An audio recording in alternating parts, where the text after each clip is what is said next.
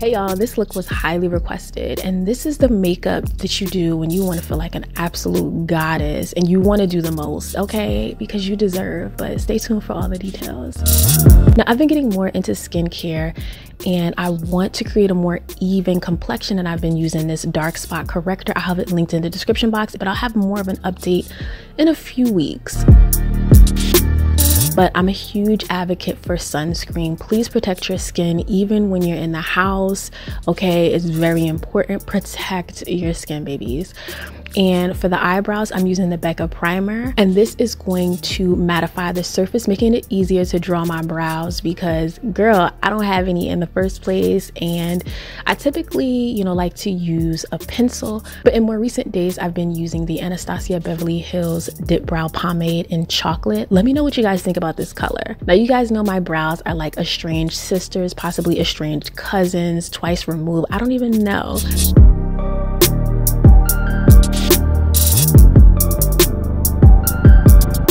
Now I'm going in with the Wet n Wild Photo Focus Foundation and focusing this specifically at the front portion of the brow only. I want a color that best matches my complexion towards the front.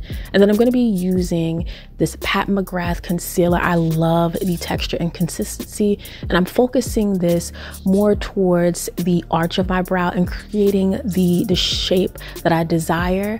And this gives that highlighted look without it being too much or too overboard. So I like blending these two colors together. And this also creates a blank canvas for the mobile lid as the base of our eyeshadow look. In the spirit of trying something new, I wanted to try the Urban Decay Naked Heat Palette. If you love neutrals, you love warm tones, get this. I love how the eyeshadows apply onto the lid. It's perfect the pigmentation, the color payoff, the intensity, the vibrancy. Now, if you're a beginner, you can use one color on the mobile lid and you can also fan it out with a fluffy brush into the crease and that is your perfect neutral look. But I'm gonna show you guys how to build up your look, you know, so that it suits evening vibes. So I'm going in with this color that's a bit more of a reddish color, focusing it in the crease more towards the outer portion. And then to build up the intensity, I'm going in with an even deeper red and a bit of brown, but focusing this more in the area of the outer V. And you guys know I've been a huge fan of the Rare Beauty Primer. It's working well in the cooler months, but let's see how it holds up in the spring because I may have to try something new. But this is a great base for our foundation and I'm using the NARS Soft Matte Velvet Foundation. Girl, I love this color for my skin. It's a little bit warm, but again, it's like a medium to full coverage and you guys can see it covers any imperfections on the skin, creating a nice, even and flawless finish. And I believe that they did a perfect job if you like that soft matte look. And for the contour, I'm going in with another Pat McGrath concealer and this is a bit warm again i love the texture of this and with the elf sponge this product it's just so easy to work around the skin. And I love the color payoff. Doesn't feel too thick and how it wears on the skin.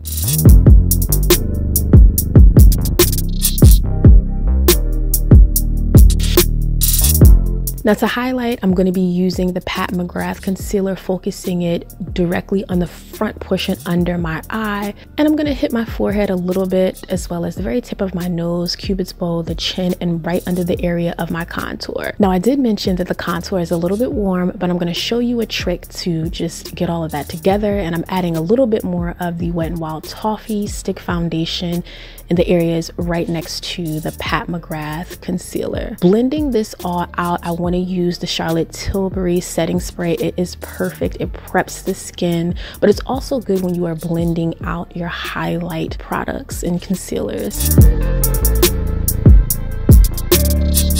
And I just love how well the setting spray allows me to blend my concealer into the foundation as well as the concealer for the contour. Take your time. I blend for a really long time. And especially in the area closest to the jawline, I want to take my time to ensure that Even though my contour is a little bit warm, I'm using the Wet n Wild foundation and the Pat McGrath concealer to create the best color match for my skin. So I match with my neck as well because that's important, okay? Don't don't be clockable.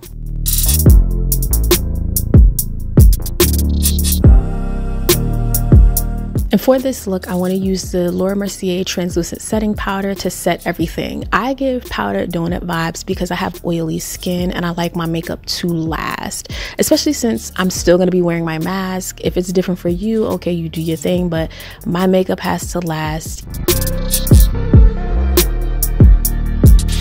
Now tell me, what are some of your holy grail makeup products? For me, this Maybelline pressed powder, it is perfect. I use the pressed powder to buff away the translucent setting powder and it better matches my complexion and just tones down the powdered donut look. I'm using the Sephora bronzer in Mykonos with this brush from Rare Beauty and I like to use this. I love how these two products work together. The brush and the bronzer, very soft finish and it's not an overpowering contoured look, very soft.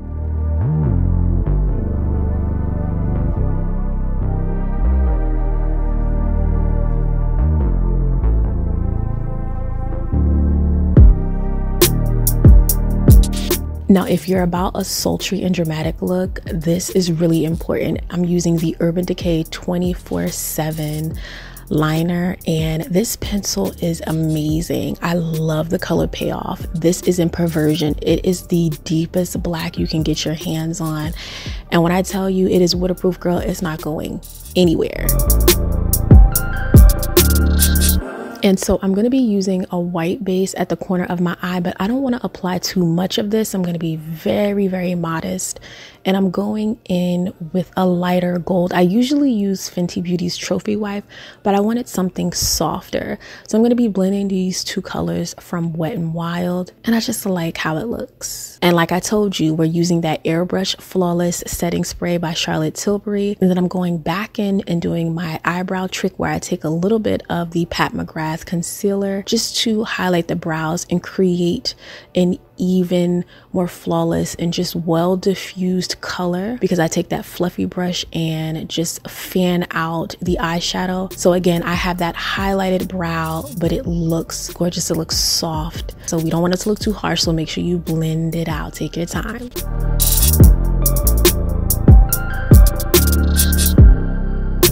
Now, I get a lot of questions about my liner. I've been doing this for so many years, so I showed you guys the full process. I use the Wet n Wild Mega Liner. Now, when I'm creating my wing, I like it to be a little bit thicker. I know that's not for everybody, but again, I have almond shaped eyes, so I definitely feel like, you know, my eye shape and my face shape, like it just goes well. And I gotta tell you, mascara is really important. So you wanna apply mascara to your top lashes, but also your bottom lashes. It makes all the difference. So don't skip the step. Do a few coats, if you will.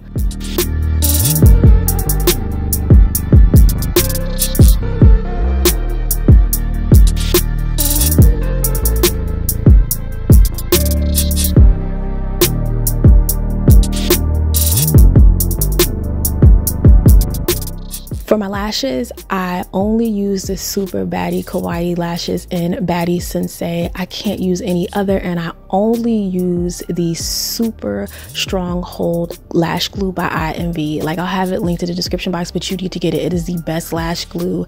No longer do I talk to people and my lashes be like sitting on my face, you know, sitting down on my uh, cheeks. You know, we're at a new time now. We elevated. And as for the blush, I'm just using NARS Orgasm. It's cute. It works. And I'm taking this highlighter. It's like a lighter kind of rosy gold, pink gold. And again, like I said, I love gold, so I'm gonna take a little bit, something a little bit softer. I just apply it in those same areas. And as for the lip that I'm wearing, this combination is everything. I mean, like, if you don't have it, you need to get it. For a red lip, again, you gotta do a gradient effect. I feel like it works the best and it creates an even more vibrant and bold makeup look. It's very rare that you'll see me wearing a red lip with just one color. So you need a lip liner that's slightly darker, that has that burgundy color payoff, and you wanna really outline your lips with that color. And then you're gonna focus that vibrant, juicy red in the center of the lips. This combo is elite.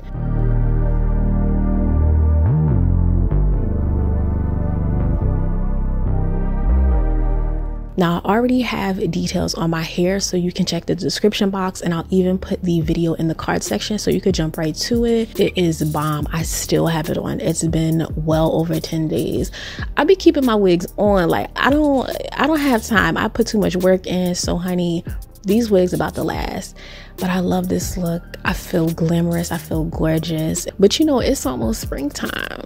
I want you to look good, feel good, whatever that means for you. So if any part of my routine resonates with you, do it up anytime. And, and you don't even need a reason. It's just because we celebrate ourselves, we slay. This is how I go in for me. I love looking glamorous. Thank you so much for watching, and I hope I see you in the next one, girl.